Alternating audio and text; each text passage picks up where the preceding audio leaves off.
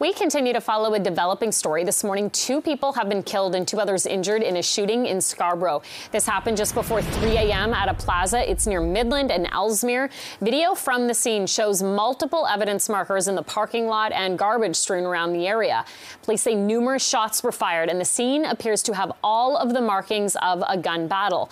No suspect information has been released we would ask that anyone with dash cam or uh, anyone who heard anything, anyone who was driving by at the time and saw anything, to contact the Toronto Police at 41 Division or to contact the Homicide Squad or Crime Stoppers.